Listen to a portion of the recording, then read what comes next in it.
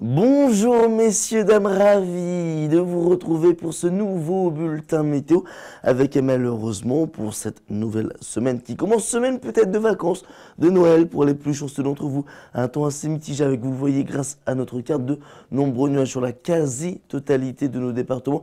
Quelques éclaircies tenteront tout de même de faire de la résistance, mais ces éclaircies resteront dans l'ensemble assez timides. Côté température, celles-ci évolueront entre moins 1 et 12 degrés. Globalement, c'est la douceur qui devrait s'imposer avec les températures qui vont légèrement remonter grâce à ce flux hanté au secteur sud. On est bien loin des gelées matinales qu'on a eues ce week-end. Comptez 10 degrés du côté de Bourg-en-Bresse, 12 à Moulins pour Clermont-Ferrand ou encore du côté de Grenoble, 8 degrés pour Aurillac, 9 degrés pour le Puy-en-Velay. Pour la suite de votre journée, ce sera le même programme météo, toujours ces éclaircies et ces passages nuageux. Côté température, celles-ci évolueront entre 5 et 16 degrés avec 8 degrés euh, du côté de Bourg-en-Bresse, comptez 11 à Saint-Etienne encore du côté de Lyon, 13 degrés attendus du côté euh, de Clermont-Ferrand, 14 à Moulins pour la journée de mercredi. Des éclaircies, notamment du côté de l'Allier.